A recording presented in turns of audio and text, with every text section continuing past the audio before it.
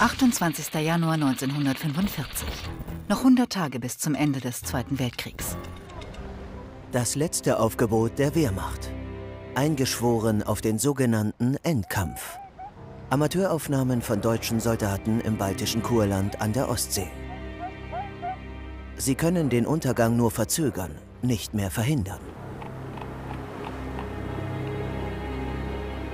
In den letzten 100 Tagen sterben mehr deutsche Soldaten als in der gesamten ersten Kriegshälfte.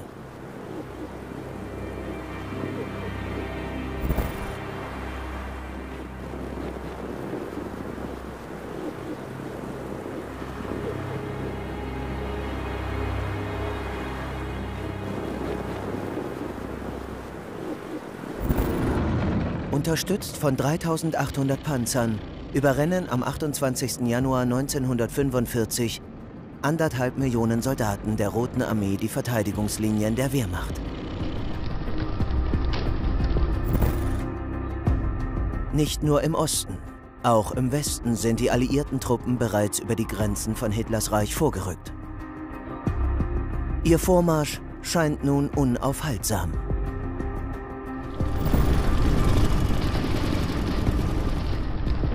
An diesem 28. Januar, einem Sonntag, 100 Tage vor Kriegsende, schreibt eine junge Deutsche an ihren Mann, einen Soldaten der Luftwaffe. Schrecklich ist dieses untätige Sitzen und Abwarten, was uns die Zukunft bringt.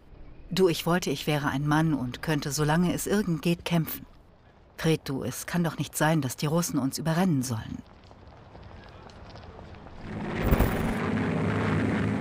Der Krieg ist für die Wehrmacht längst verloren. Das NS-Regime aber setzt weiter auf Durchhalteparolen. In den deutschen Kinos verklärt die Wochenschau den aussichtslosen Abwehrkampf zum heldenhaften Widerstand der deutschen Soldaten. Die ersten Bilder aus den Schlachten im Osten.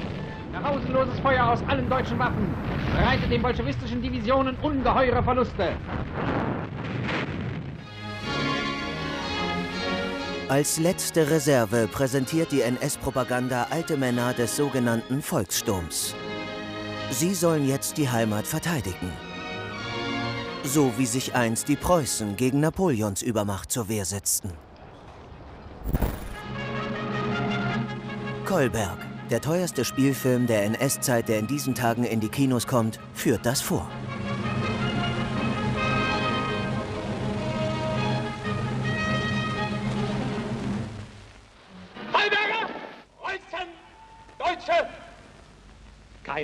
Freude ist süßer als die Freude der Freiheit. Aber ihr wisst, was uns blüht, wenn wir diesen Kampf nicht ehrenvoll gewinnen. Darum, welche Opfer von dem Einzelnen auch gefordert werden mögen, sie wiegen die heiligen Güter nicht auf, für die wir kämpfen und siegen müssen. Durchhalteparolen, auch für die Heimatfront. Herr Nesselbeck, wie lange glauben Sie, halten wir das noch aus? Wenn sein muss, noch eine ganze Weile, Herr Kommandant. Die Häuser können uns verbrennen, unsere Erde nicht. Wenn wir nicht als Menschen leben können, dann leben wir immer als Maulwürfe. Der Film floppt. Die Deutschen schauen lieber Unterhaltungsfilme, die ihnen helfen, die schreckliche Wirklichkeit für ein paar Stunden zu vergessen.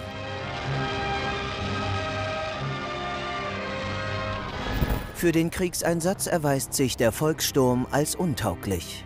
Besonders altgediente Soldaten und rasch rekrutierte Zivilisten erkennen die Aussichtslosigkeit. Viele versuchen eher, ihr Leben zu retten. Doch für die meisten gibt es kein Entkommen vor der Feldpolizei oder der Kriegsgefangenschaft. In Niederschlesien dringt die Rote Armee auf Reichsgebiet vor. Es gibt kaum Widerstand. Ein sowjetischer Soldat schreibt in sein Tagebuch, Unsere Panzer haben alles niedergewalzt. Ihre Ketten haben Wagen, Pferde und alles andere platt gemacht, was sich auf der Straße befand. Die Folgen sind spürbar. Ein Stimmungsbericht der Wehrmacht. Deprimierend wirken verständlicherweise die Berichte der Flüchtlinge, die zum Teil trotz ihres Erlebens das zuversichtliche Vertrauen äußern, dass der Führer sie bald wieder in ihre Heimat zurückführen werde. Bei ihrem Vormarsch stellen die Rotarmisten fest, dass noch immer viele Deutsche im Wohlstand leben. Etliche sinnen auf Rache. Ein Soldat der Roten Armee schreibt, Zu Recht laufen die Deutschen vor uns weg wie vor der Pest.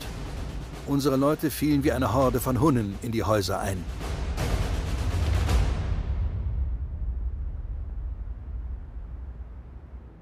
Westlich von Krakau entdecken sowjetische Vortrupps ein Lagergelände mit Hunderten von Baracken.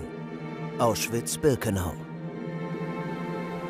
An diesem 28. Januar 1945 dreht ein eilig herbeigerufenes Kamerateam dort die ersten Filmaufnahmen vom Todeslager. Sie treffen auf 8000 überlebende KZ-Insassen. Zu schwach für den Abmarsch wurden sie zum Sterben zurückgelassen. Dienstag, 30. Januar 1945. Noch 98 Tage bis Kriegsende. Lange hat die Parteiführung jede Evakuierung verboten. Doch angesichts des sowjetischen Vormarschs im Osten gibt es kein Halten mehr.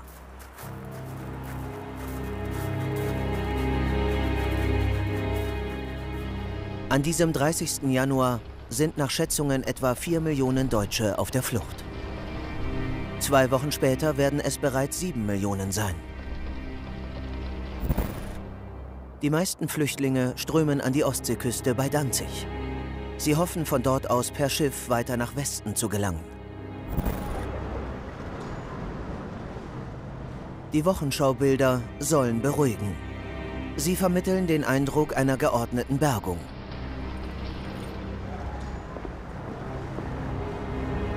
Doch oft sind die Schiffe überladen mit Flüchtlingen. So auch die Wilhelm Gustloff in Gedingen bei Danzig. Das frühere Kreuzfahrtschiff legt an diesem 30. Januar gegen Mittag ab. Mit etwa 10.000 Menschen an Bord. In Berlin kommt an diesem Tag ein Team von Radiotechnikern in die Reichskanzlei. Zum 12. Jahrestag seiner Machtübernahme soll Adolf Hitler im Rundfunk sprechen. Der Nimbus des Führers hält das marode Reich noch immer zusammen. Es ist unser unabänderlicher Wille, in diesem Kampf der Errettung unseres Volkes vor dem grauenhaftesten Schicksal aller Zeiten vor nichts zurückzuschrecken und unwandelbar und treu dem Gebot der Erhaltung unserer Nation zu gehorchen. Worte, auf die immer noch viele vertrauen.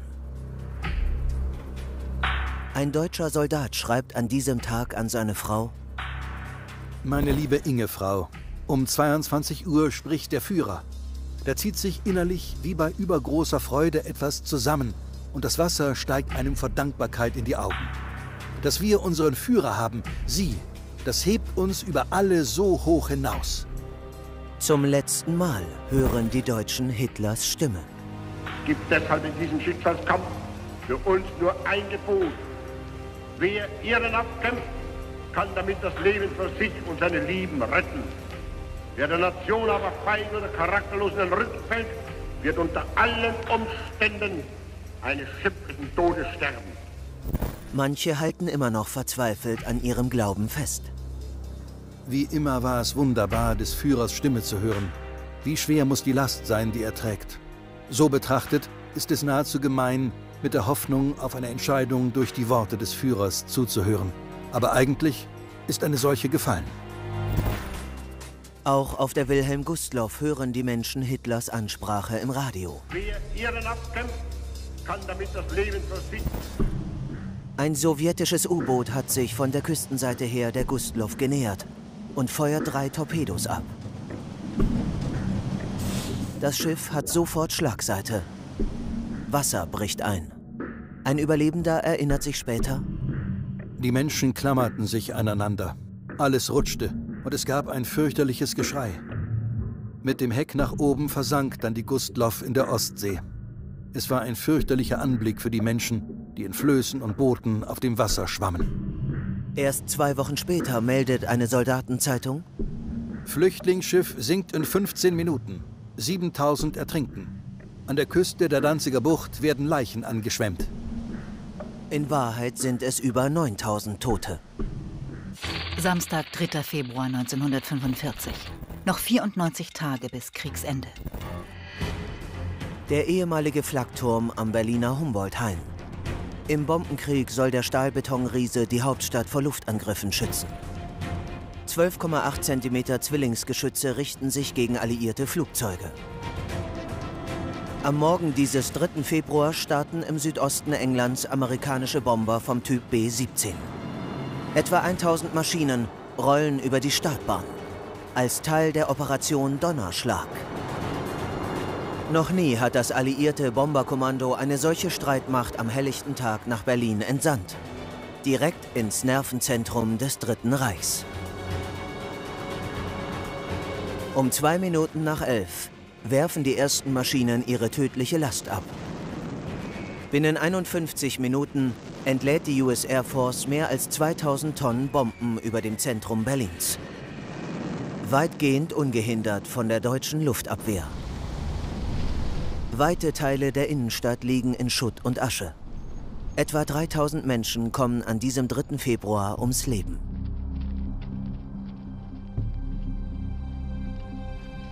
Unter ihnen Roland Freisler, der gefürchtete Blutrichter und Präsident des Volksgerichtshofs. Noch tags zuvor hat er vier Todesurteile verhängt. Ein Bombensplitter tötet Freisler am 3. Februar 1945 im Hof des Unrechtsgerichts, als er versucht, den Luftschutzkeller zu erreichen.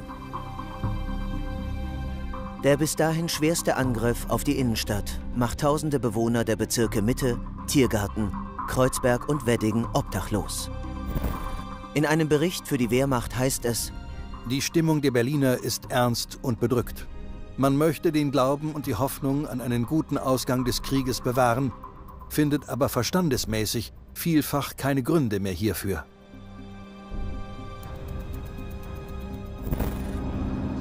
Auch die Reichskanzlei wird bei dem Bombenangriff schwer beschädigt.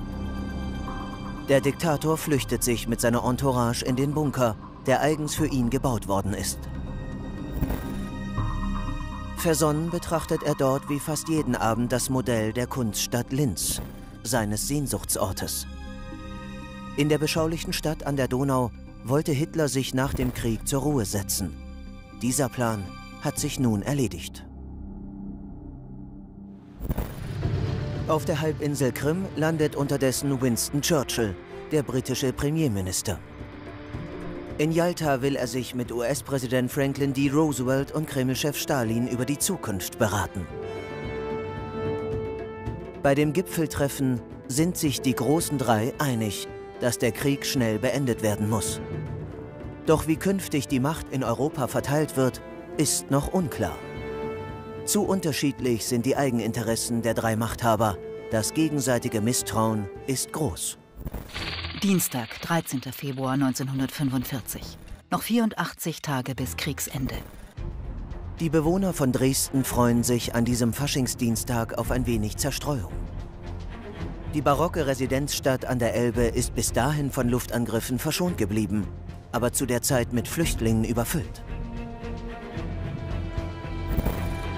In der Berliner Reichskanzlei kommt es derweil zum Eklat. Bei der Lagebesprechung verlangt die Heeresführung von Hitler Konsequenzen. Der Kriegsherr hatte der Heeresgruppe Weichsel befohlen, einen sowjetischen Angriff auf Berlin zu verhindern. Oberbefehlshaber Heinrich Himmler scheint damit überfordert. Als ob ein Blinder von der Farbe spricht. Beschreibt ein Stabsoffizier den verbreiteten Eindruck. Auf Drängen von Hitlers Generälen erhält Himmler nun einen erfahrenen Heerführer an die Seite gestellt und wird später wegen Unfähigkeit abberufen.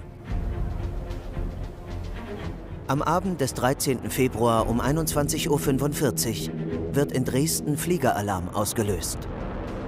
800 britische Bomber sind auf dem Weg an die Elbe. An Bord fast 1000 Tonnen Spreng- und Brandbomben. Um gezielte Treffer geht es diesmal nicht. Binnen 15 Minuten steht die Innenstadt in Flammen. Der Angriff erfolgt in mehreren Wellen. Auch die US-Luftwaffe beteiligt sich. Zwei Tage lang wird Dresden bombardiert die historische Innenstadt fast vollständig zerstört.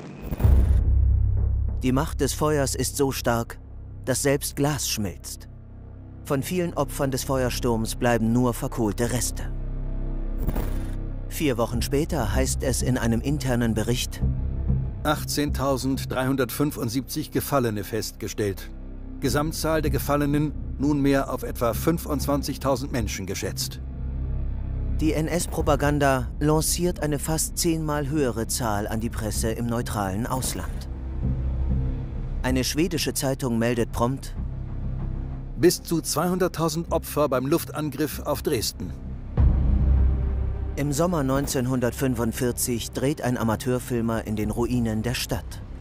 Das verheerende Ausmaß der Zerstörung sorgt für Entsetzen.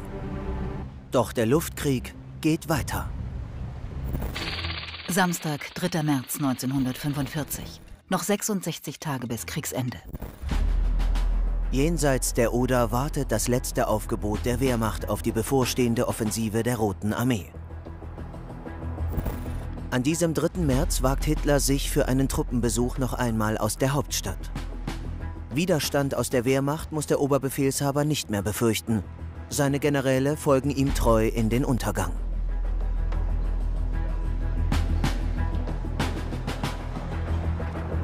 Unbehelligt verlässt der Kriegsherr die Kaserne bei Neuhardenberg, um mit seinem Tross in die Berliner Reichskanzlei zurückzufahren. Er wird sie nicht mehr lebend verlassen. Die Städte Königsberg, Breslau und Posen sind zu Festungen erklärt worden und heftig umkämpft. Diese Aufnahmen aus Posen zeigen eine über Wochen sturmreif geschossene Stadt.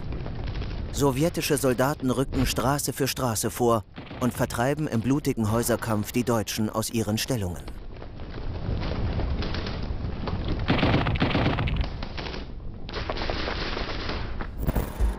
Im Westen Deutschlands markiert die sogenannte Siegfried-Linie bei Aachen mit ihren Drachenzähnen aus Beton seit Vorkriegszeiten die Grenze des Reichs. Am 3. März betritt der britische Premierminister Winston Churchill hier erstmals seit Kriegsbeginn deutschen Boden.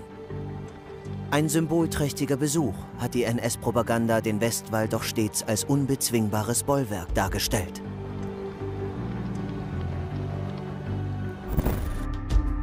Die britischen und amerikanischen Verbündeten rücken weiter Richtung Rhein vor. Um ihren Vormarsch zu erschweren, haben die Deutschen vor allem ihre Verteidigungslinien bei Düren und Jülich vermint. Doch die US Air Force hat mit massiven Luftangriffen den Weg freigebombt. Von der Stadt Jülich sind nur noch Ruinen übrig. Dennoch kommen die alliierten Truppen nur unter hohen Verlusten voran. Ein amerikanisches Kamerateam ist an diesem 3. März in Jülich vor Ort, um den Besuch des Oberbefehlshabers der alliierten Expeditionsstreitkräfte zu dokumentieren. US-General Dwight D. Eisenhower fürchtet, dass der mörderische Krieg noch bis ins Jahr 1946 dauern könnte.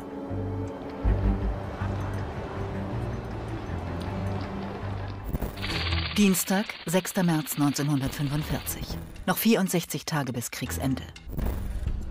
An diesem Morgen beginnt für die Domstadt Köln der letzte Tag unter dem Hakenkreuz.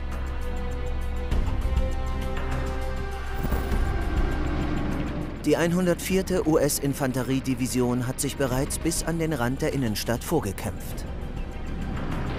Der Großteil der Zivilbevölkerung ist evakuiert. Doch in den Häusern verschanzen sich immer noch kampfbereite deutsche Soldaten.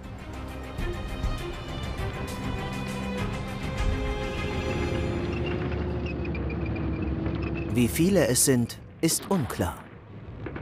Es droht ein verlustreicher Häuserkampf. Entsprechend nervös sind die US-Soldaten und schießen auf alles, was sich bewegt.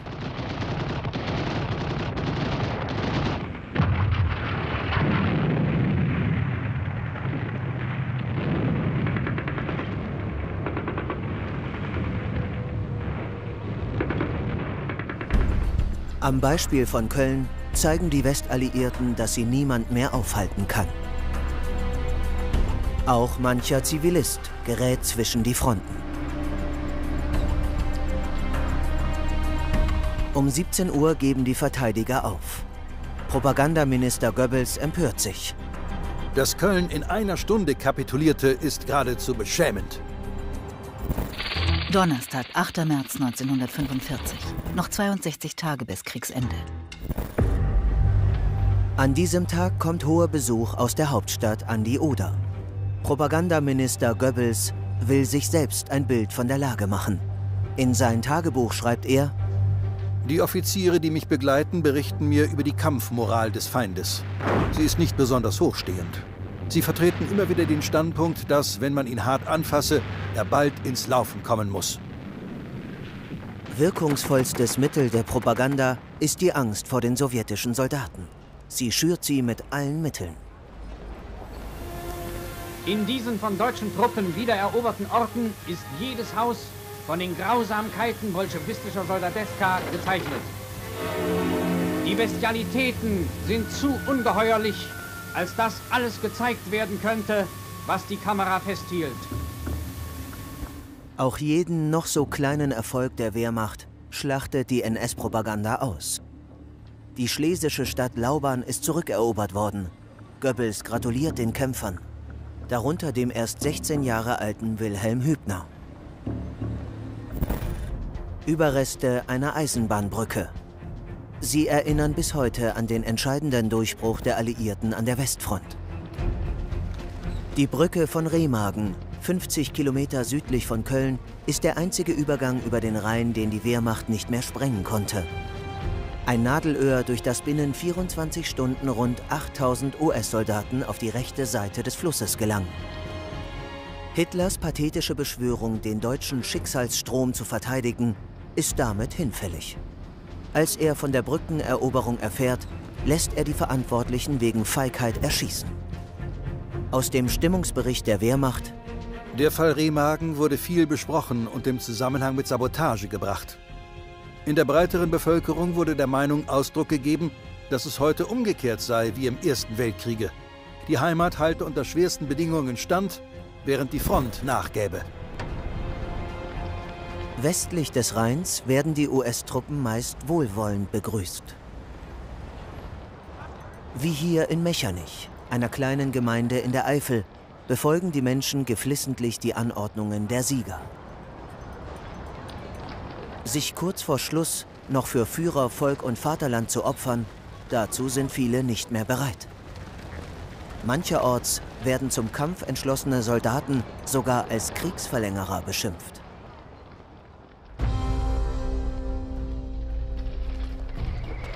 Die NS-Propaganda zeigt in diesen Tagen Aufnahmen vom Barrikadenbau in Berlin. Die Wehrmacht erfasst die Stimmungslage. An einen guten Ausgang des Krieges könne man kaum noch glauben. Andererseits könne man doch die Hoffnung nicht ganz aufgeben. Das Beste sei, nicht nachzudenken und zu grübeln, sondern seine Arbeit zu tun und abzuwarten, was geschehen werde. Noch am selben Tag beordert Stalin seinen Generalstabschef Georgi Schukow nach Moskau. Der Sowjetdiktator fürchtet einen raschen Vormarsch der Alliierten im Westen. So befiehlt er Schukow unverzüglich Pläne für die Schlacht um Berlin auszuarbeiten. Im Theater von Görlitz inszeniert Josef Goebbels an diesem 8. März, 62 Tage vor der Kapitulation, seinen letzten großen Auftritt. So wie der Führer die Krisen der Vergangenheit bewältigt hat, so wird er diese bewältigen. Er ist fest davon überzeugt. Noch vorgestern sagte er mir, ich glaube so fest daran, dass wir eines Tages den Sieg an unserer Fahnen heften werden, wie ich je in meinem Leben an etwas fest geglaubt habe. Der Propagandaminister ist in Hochform und fernab jeder Realität.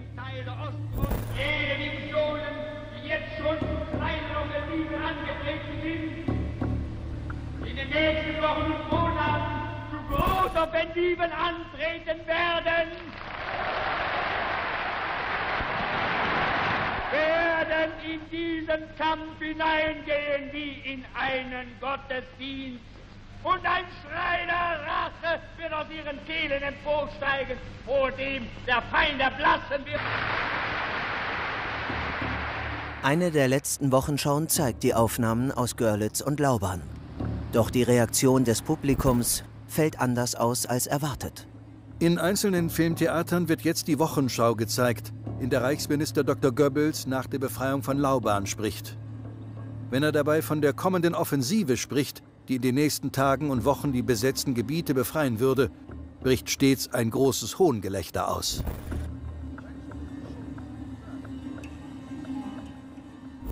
Dienstag, 20. März 1945. Noch 50 Tage bis Kriegsende.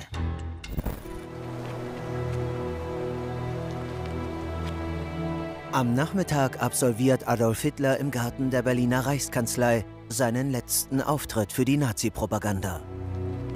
Die Bilder davon laufen ein paar Tage später in der Wochenschau. Nachdem der sichtlich gezeichnete Diktator wieder verschwunden ist, werden die Jugendlichen in Szene gesetzt. Meine Aufgabe bestand darin, Meldungen zu den einzelnen Kompaniegefechtsständen zu bringen.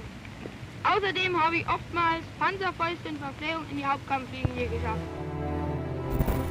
Der Jungvolkjunge Alfred Tschech wird im völkischen Beobachter als Vorbild für die kämpfende Jugend gefeiert. Im Ringen um Sein oder Nichtsein. Ein zwölfjähriges Kind.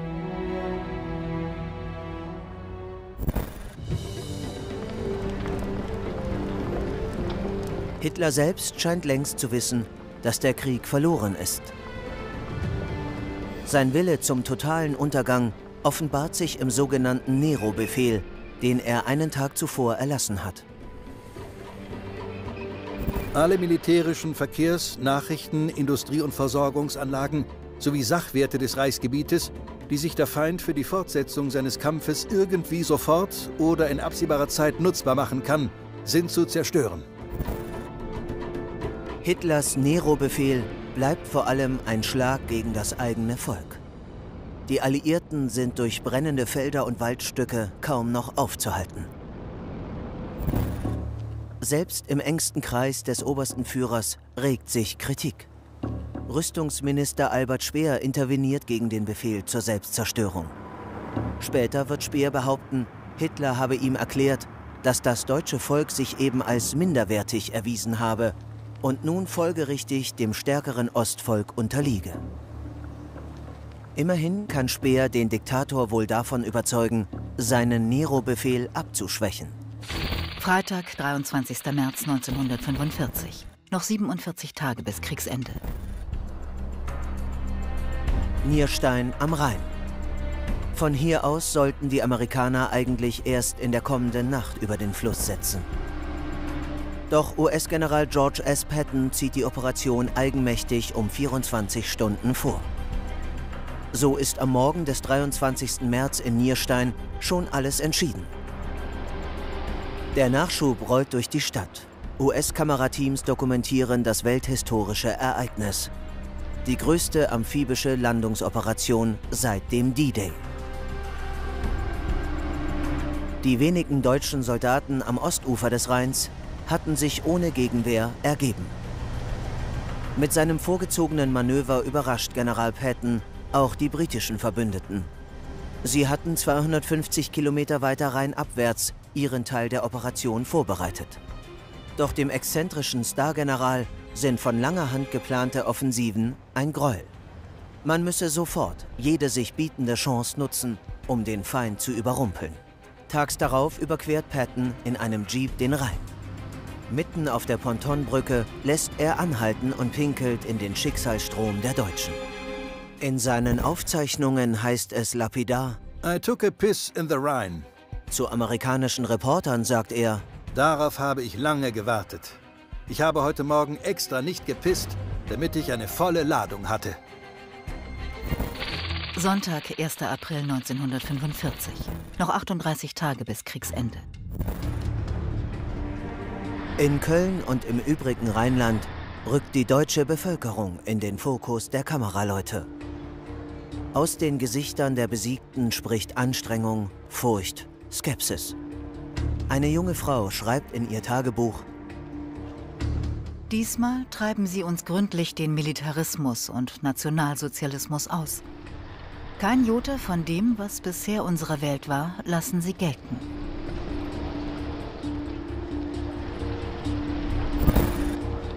Das Verhältnis von Briten und Amerikanern ist angespannt. General Eisenhower will die US-Armee vor allem nach Mittel- und Süddeutschland lenken. Er befürchtet, Hitlers Regime wolle dort in einer Alpenfestung alle Abwehrkräfte zusammenziehen. Winston Churchill ist entsetzt. Er will die Oberhoheit über Berlin und damit über Mittel- und Osteuropa nicht kampflos den Sowjets überlassen. Der britische Feldmarschall Montgomery soll den Vorstoß der Alliierten in Richtung der deutschen Hauptstadt anführen. Was Churchill nicht weiß, Eisenhower hat Stalin in einem Telegramm bereits vorauseilend mitgeteilt, dass man der Roten Armee die Eroberung Berlins überlassen werde. Die Briten müssen nachgeben. An diesem 1. April stimmt das Kriegskabinett Eisenhowers Plan widerwillig zu. Der verlustreiche Häuserkampf um Berlin bleibt den Westalliierten somit erspart. Inzwischen ist der militärische Ring um das Ruhrgebiet geschlossen. Die Alliierten stehen vor Münster. US-Truppen haben Frankfurt am Main erobert und rücken Richtung Harz und Thüringen vor. An diesem 1. April 1945, 38 Tage vor der deutschen Kapitulation, heißt es in einem Lagebericht des alliierten Oberkommandos, Der Feind sieht sich im Westen einer Situation gegenüber, die sich seiner Kontrolle entzieht. Eine Verlängerung der Operationen ist sinnlos. Hitler ist besiegt. Jedoch geht er wie alle anderen Napoleone nicht ohne bis zum letzten Atemzug zu kämpfen. Es bleibt nur abzuwarten, wie lange dieser Atemzug anhält oder ob die Deutschen bereit sind, dabei mitzumachen. Wie viele Deutsche sind ihrem Führer noch treu ergeben? Und werden sie im Untergrund weiter Widerstand leisten, wie die NS-Propaganda verkündet? Hass das Gebet, Rache das Feldgeschrei. Mit dieser Parole wendet sich an diesem 1. April 1945 erstmals auch der Radiosender Wehrwolf an die Bevölkerung. Hier spricht der Sender Wehrwolf, der Sender der deutschen Freiheitsbewegung in den vom Feind besetzten Gebieten. Wir Wehrwölfe geben alles für unser Volk. Und wenn wir nichts mehr zu geben haben als unser Leben, so sterben wir eben für das Volk. Die Botschaft? Kein Feind soll sich auf deutschem Boden sicher fühlen. Doch die Attacken der Wehrwölfe richten sich vor allem gegen die eigene Bevölkerung. Denn statt Widerstand zu leisten, setzen viele Deutsche in den besetzten Gebieten auf Kooperation mit den Siegern. Militärisch ist der Wehrwolf ein Reinfall. Hinter der berüchtigten Guerillatruppe verbergen sich gerade mal 200 Hitlerjungen. Die dennoch Terror und Schrecken verbreiten. So wird der Bürgermeister eines kleinen Ortes bei Herford eines Nachts vor seiner eigenen Haustür erschossen. Der bis dahin treue Parteigänger hatte sich geweigert, ein Kraftwerk zu sprengen, stattdessen kampflos kapituliert. Montag, 9. April 1945. Noch 30 Tage bis Kriegsende. Das Konzentrationslager Flossenbürg in Nordbayern. Hier sind Anfang April 1945 über 15.000 Häftlinge interniert, die von der SS als Sklavenarbeiter ausgebeutet werden. Als US-Soldaten das Lager Ende April 1945 befreien, finden sie nur noch 1500 Überlebende vor und viele Leichen. Die meisten sind kurz vor ihrer Befreiung an Krankheit, Hunger und Entkräftung gestorben. Bis zum Ende finden Hinrichtungen statt. Am 9. April 1945 finden US-Ermittler später heraus, werden hier Regimegegner auf persönlichen Befehl Hitlers ermordet. Unter ihnen Dietrich Bonhoeffer, ein Wortführer der verfolgten Bekennenden Kirche, wegen seiner Kontakte zum Widerstand, seit zwei Jahren in Haft. Ein Zeuge erinnert sich später, Ich sah Pastor Bonhoeffer in innigem Gebet mit seinem Herrgott knien. Die hingebungsvolle und erhörungsgewisse Art des Gebetes hat mich auf das tiefste erschüttert. Ich habe kaum je einen Mann so Gott ergeben sterben sehen. nach dem Mord schickt die SS einen verschlüsselten Funkspruch nach Berlin. Auftrag befehlsgemäß erledigt. Bestätigung nicht erforderlich. Bonhoeffers Leiche wird im Krematorium verbrannt. Die Führung des untergehenden Reiches richtet in diesen Wochen ein letztes Blutbad an. Hunderte gefangene Regimegegner sterben am Galgen oder unter dem Fallbeil.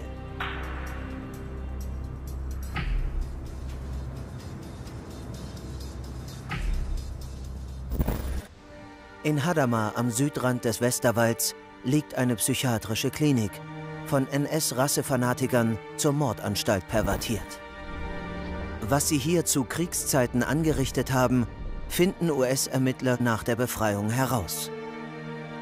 Im Rahmen des zynisch sogenannten Euthanasie-Programms wurden behinderte Patienten mit Gas, später durch Todesspritzen oder Mangelernährung umgebracht.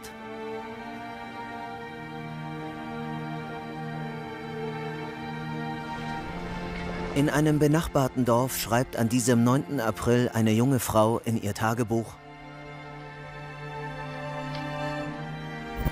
Heute wurde es offenbar, dass man in Hadamar, in dieser verrückten Anstalt, 26.000 Menschen ums Leben brachte.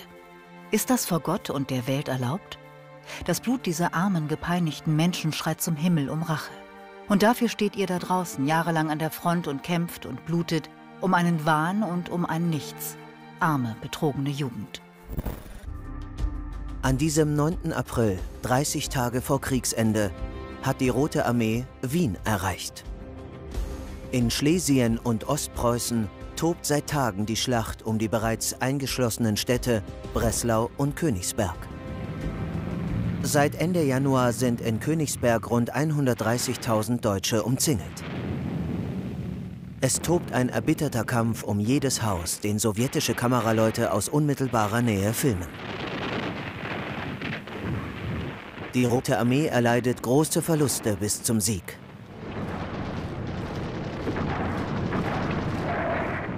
Am 9. April gibt sich der Oberkommandierende der zur Festung erklärten Stadt in aussichtsloser Lage geschlagen. Er wird daraufhin von Hitler in Abwesenheit zum Tode verurteilt. 92.000 deutsche Soldaten gehen in Gefangenschaft.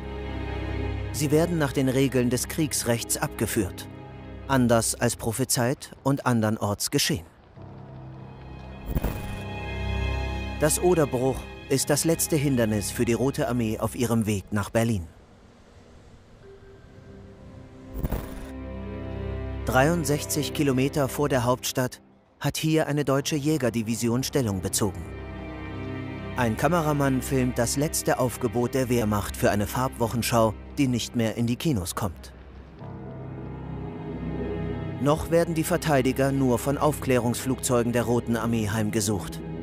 Auch angesichts des bevorstehenden Sturms kommt den meisten nicht in den Sinn aufzugeben. Sie sehen es als ihre Pflicht an, die deutsche Hauptstadt zu verteidigen. Ein Offizier schreibt in sein Tagebuch, man darf nicht im letzten Augenblick kapitulieren und hinterher ein Leben lang bereuen, nicht durchgehalten zu haben.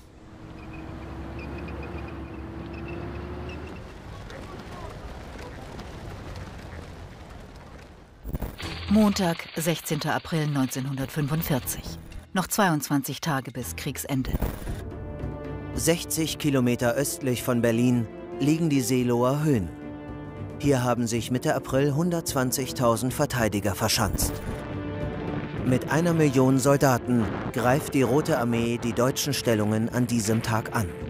Sie kommt voran, doch der Durchbruch gelingt nicht. Angeführt wird die Offensive von Marschall Georgi Schukow.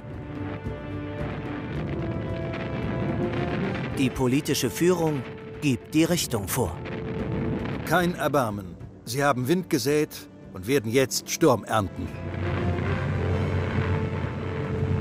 Trotz der Übermacht nehmen Schukows Armeen die Seeloer Höhen erst nach vier Tagen ein. Bei der Schlacht sterben etwa 33.000 seiner Soldaten. Ihr Leben zählt nicht viel für die sowjetische Führung. Auch Hitler treibt seine Soldaten zum Durchhalten an. Zum letzten Mal ist der jüdisch-bolschewistische Todfeind mit seinen Massen zum Angriff angetreten. Er versucht, Deutschland zu zertrümmern und unser Volk auszurotten. Die westliche Welt trauert zu dieser Zeit um US-Präsident Franklin D. Roosevelt, der am 12. April im Alter von 63 Jahren verstorben ist. Die US-Wochenschau zeigt Aufnahmen von der Beerdigung. In April, a great man was dead. The loss of Franklin Delano Roosevelt was deeply felt by people all around the world.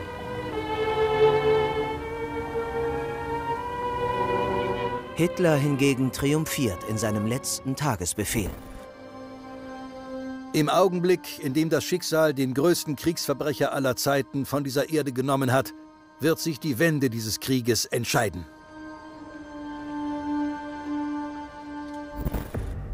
Propagandaminister Goebbels schürt die Illusion, das alliierte Bündnis werde nun auseinanderbrechen. Vergeblich. Nördlich von Hannover liegt das Konzentrationslager Bergen-Belsen. Britische Soldaten befreien hier rund 75.000 Gefangene, die meisten Frauen und Kinder. An diesem 16. April dokumentieren Kameraleute das Grauen im befreiten Lager. Der Kommandant wird vor Ort verhaftet. Eine Deutsche schreibt in diesen Tagen an ihren Mann, Ach Fred, es ist ja alles so schrecklich. Ich kann und kann es nicht begreifen, dass es so weit kommen musste. Unser liebes, schönes Deutschland. Du, ob das alles wahr ist, was wir mit den Juden gemacht haben sollen? Ein britischer Reporter beendet seine Reportage aus dem Lager mit den Worten Dieser Tag in Belsen war der schrecklichste in meinem Leben. 300 Kilometer südöstlich wird ein weiteres Lager befreit, Buchenwald. Mehr als 1000 Bewohner der nahegelegenen Stadt Weimar werden an diesem 16. April gezwungen, das Gelände zu besichtigen. Der kommandierende US-General will die Bevölkerung mit dem Ausmaß der Verbrechen konfrontieren. Ein überlebender Häftling erinnert sich, Angesichts der Scheußlichkeiten, die ihren Augen geboten wurden, schrien die Frauen auf. Einige fielen in Ohnmacht. Aber auch die Männer mussten sich zwingen, ihre Gefühle zusammenzuhalten. Niemand kann jetzt noch die Augen vor der Wahrheit verschließen. Fred, ich finde mich gar nicht mehr zurecht. Du, das wäre ja Wahnsinn. Und dann die Schauergeschichten über die SS. Ich kenne mich einfach nicht mehr aus. Nie hätte ich deutschen Männern solche Schandtaten zugetraut. Im Rheinland müssen inzwischen Hunderttausende deutsche Kriegsgefangene mangels geeigneter Unterkünfte auf dem freien Feld kampieren, nur notdürftig versorgt. Dem Krieg gerade entronnen, werden Tausende von ihnen an Mangelernährung und Krankheiten sterben.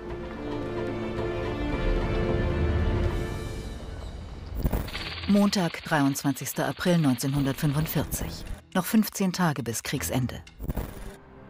Nürnberg. Seit 1929 haben die Nationalsozialisten hier ihre Parteitage abgehalten. Am 20. April 1945, Hitlers 56. Geburtstag, ist die Stadt befreit worden. Auch hier sind die meisten froh, dass der Krieg vorbei ist und haben Angst, wie es jetzt weitergeht. Berlin erbebt seit zwei Tagen unter Trommelfeuer. Die sowjetischen Generäle wissen nicht, wie viele Verteidiger sie dort erwarten.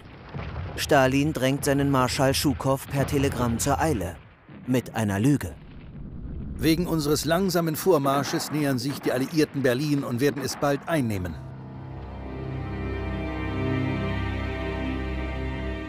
...2,7 Millionen Menschen sind noch in Berlin nun Frontstadt, mit einer eigens dafür gedruckten Zeitung, dem Panzerbär. Das Kampfblatt für die Verteidigung Groß-Berlins fordert zum Durchhalten auf. Eine ernste Mahnung des Führers. Merkt euch, jeder der Maßnahmen, die unsere Widerstandskraft schwächen, propagiert oder gar billigt, ist ein Verräter. Er ist augenblicklich zu erschießen oder zu erhängen. In der Reichskanzlei herrscht indes Untergangsstimmung. Hitler muss erkennen, dass kaum jemand noch in der Lage ist, seine Befehle auszuführen. Der innere Kreis um ihn zerfällt. Der zweite Mann im Staat, Hermann Göring, hat sich nach Bayern abgesetzt, wo er später in Gefangenschaft gerät. Am 23. März fragt er in Berlin nach, ob er die Führung des Reichs übernehmen solle. Hitler ist außer sich und lässt Göring verhaften. Zwei Wochen später finden ihn die Amerikaner. Rüstungsminister Albert Speer kommt zum Abschied in den Bunker. Hitler sei entschlossen zu sterben, so sein Eindruck. Er selbst habe das Gefühl gehabt, mit einem Leblosen zu sprechen. Zum letzten Mal lässt Hitler sich am Nachmittag des 23. April in der Ruine der Reichskanzlei fotografieren.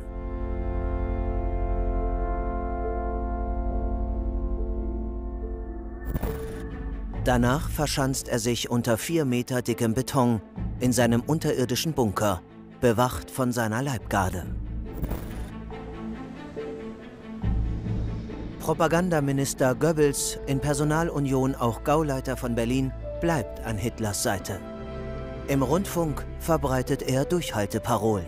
Meine Berliner Volksgenossen und Volksgenossinnen, Verteidiger Berlins, ihr kennt jetzt eure Aufgabe und ich weiß, ihr werdet sie vorbildlich erfüllen.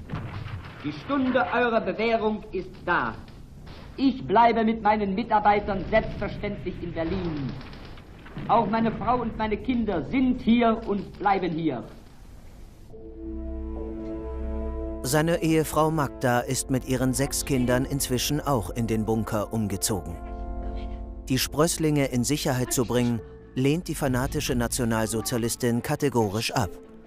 Wie sie selbst sollen auch die Kinder das Scheitern ihrer Glaubenslehre nicht überleben.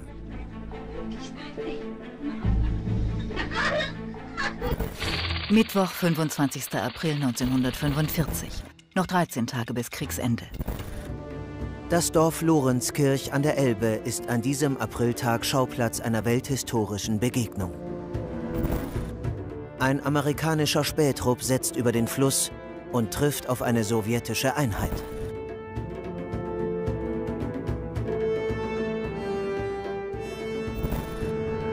»40 Kilometer flussabwärts wird tags darauf auf der Elbbrücke von Torgau das erste offizielle Treffen von Sowjets und Amerikanern organisiert.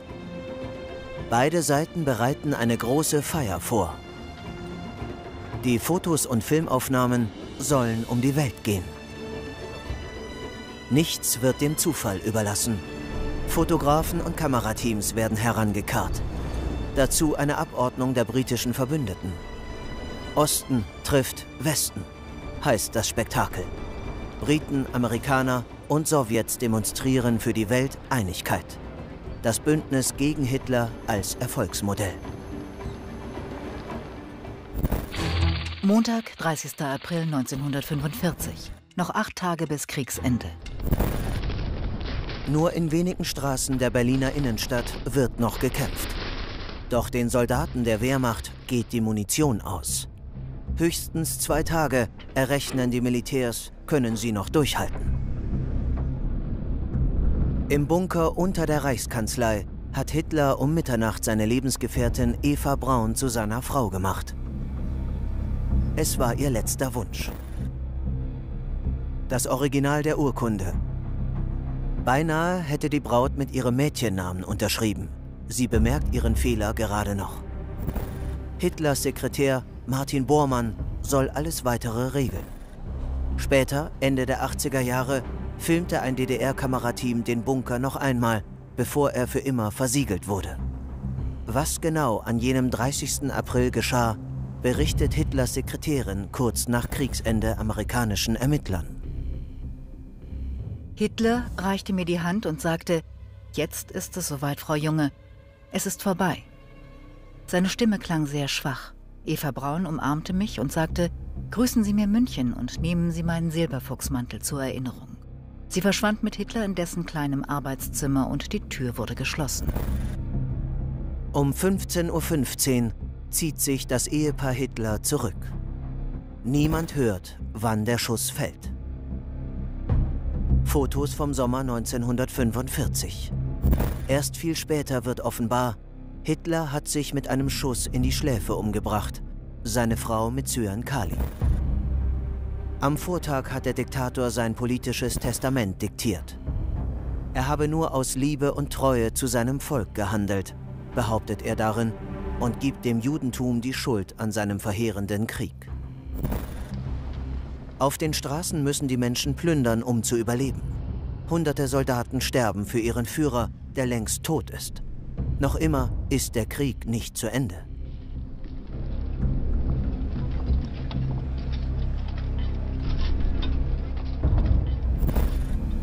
Hitler hat seinen getreuen Goebbels zum Reichskanzler ernannt. Großadmiral Dönitz zum Reichspräsidenten und Oberbefehlshaber der Wehrmacht. Karl Dönitz erfährt an diesem 30. April von seiner Beförderung, nicht aber von Hitlers Tod. Treuherzig versichert er in einem Telegramm, Ich werde den Krieg zu Ende führen, wie es der Heldenkampf des deutschen Volkes verlangt. In der holsteinischen Schweiz, in einer Kaserne bei Plön, hat Dönitz sein Hauptquartier aufgeschlagen. Der Großadmiral schart dort seine Getreuen um sich und sichert sich ab. Denn er fürchtet Umsturzversuche. Vor allem Heinrich Himmler sieht er als Gefahr. Der SS-Chef ist wegen seiner Kontaktversuche mit dem Westen noch von Hitler aller Ämter enthoben worden. Zum Treffen mit Dönitz in Plön an diesem 30. April bringt Himmler eine bewaffnete Leibgarde mit. Dönitz hat zur Vorsicht eine entsicherte Pistole griffbereit. Lassen Sie mich in Ihrem Staat der zweite Mann sein, soll der SS-Chef gesagt haben. Dönitz lehnt ab. Er habe keine Verwendung für ihn. Himmler geht, kampflos. Dienstag, 1. Mai 1945, noch sieben Tage bis Kriegsende. Das einstige Konzentrationslager Dachau bei München. Hier wurde zwölf Jahre lang gequält, gefoltert, gemordet. An diesem 1. Mai unternehmen US-Kameraleute einen Gang durchs Inferno. US-Truppen haben hier zwei Tage zuvor noch 32.000 Häftlinge vorgefunden. Und auch mehrere tausend, die die Todesmärsche der SS nicht überlebt haben. Einige GIs reagieren mit Wut und erschießen etwa 50 Männer des Wachpersonals. Doch das bleiben Ausnahmefälle. Die meisten Täter werden regulär festgenommen. SS-Schergen, die sich als Häftlinge tarnen, werden von einstigen Lagerinsassen als ihre Peiniger entlarvt. In Berlin feiert die Rote Armee den Internationalen Tag der Arbeit. Noch haben die deutschen Stellungen im Regierungsviertel nicht kapituliert, wie Stalin zum Feiertag gewünscht hat. Es kursieren Gerüchte über Hitlers Tod, doch ein Beweis fehlt. Ein Waffenstillstandsangebot von Reichskanzler Goebbels lehnen die Sowjets ab.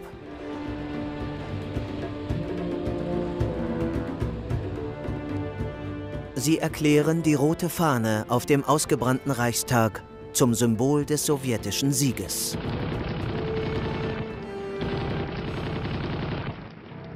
Unweit davon, unter der Reichskanzlei, befürchtet Goebbels, dass sein Versteck bald aufgespürt wird. Am 1. Mai 1945 nehmen er und seine Frau sich das Leben. Zuvor ermorden sie ihre sechs Kinder. Für eine sowjetische Kamera werden die Leichen einige Tage später aufgereiht. Die Körper von Josef und Magda Goebbels wurden verbrannt. Ein deutscher Vizeadmiral identifiziert die Toten. Wer den friedlich schlafenden Kindern die Giftkapseln im Mund zerdrückt hat, ist bis heute nicht geklärt. Mit großer Wahrscheinlichkeit ihre eigene Mutter. Am 2. Mai 1945 kapituliert die Hauptstadt. Eine Berlinerin schreibt in ihr Tagebuch, Hitler ist tot. Wie ein Spuk ist das Dritte Reich zerstoben. Mit den Hakenkreuzen seiner Nazifahnen ist auch Herr Hitler auf den Abfallhaufen geflogen. Sonntag, 6. Mai 1945, noch zwei Tage bis Kriegsende. In Flensburg-Mürwik hält die provisorische Reichsregierung in einer Marineschule gespenstische Kabinettssitzungen ab. Zu Dönitz engsten Beratern gehören Generaloberst Alfred Jodl und Albert Speer. Hier Bilder nach der Festnahme Ende Mai 1945. Dönitz lehnt eine Kapitulation an der Ostfront kategorisch ab. Die Wehrmacht soll nur im Westen und Norden die Waffen strecken. An diesem 6. Mai 1945 fliegt Jodl nach Reims, ins Hauptquartier der westlichen Alliierten. Die Briten und Amerikaner beharren auf der bedingungslosen Kapitulation an allen Fronten. In Anwesenheit eines sowjetischen Generals unterschreibt Jodl. Endlich. Der Krieg soll am 8. Mai um 23 Uhr mitteleuropäischer Zeit zu Ende sein. Am Eingang der Reichskanzlei machen Sowjetsoldaten einen aufsehenerregenden Fund. Sie glauben, Hitlers Leiche entdeckt zu haben. Doch rasch stellt sich raus, dass es nur ein Soldat ist, der Hitler ähnlich sieht.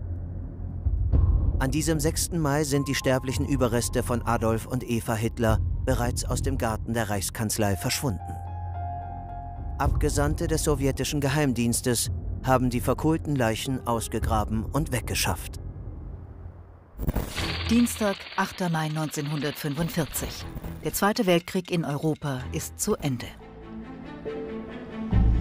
In Flensburg verkündet Hitlers Nachfolger Dönitz die Nachricht, auf die viele schon lange gewartet haben.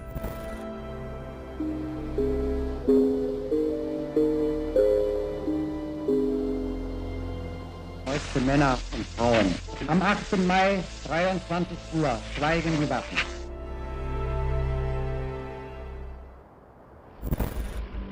Als Stalin von der Kapitulation im Westen erfährt, ist er außer sich vor Wut und verlangt eine Neuauflage der Zeremonie in seinem Machtbereich.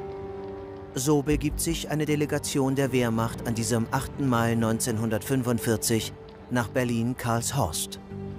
Diesmal präsentiert sich die Sowjetunion als eigentlicher Sieger. Marschall Schukow sitzt in der Mitte. Briten, Amerikaner und Franzosen wirken wie Beisitzer. Kurz vor Mitternacht besiegeln die Vertreter der Wehrmacht die Kapitulation. Bedingungslos. Nach 2077 Tagen endet am 8. Mai 1945 der Zweite Weltkrieg in Europa. Die letzten 100 Tage gerieten für Millionen zum Kampf um Leben und Tod. 100 Tage andauernden Entsetzens und Sterbens. Der Zusammenbruch einer Welt, die aus allen Fugen geraten war. Befreiung von unbeschreiblichem Leid, von Entbehrung und Fanatismus. Und der Beginn einer neuen Zeit.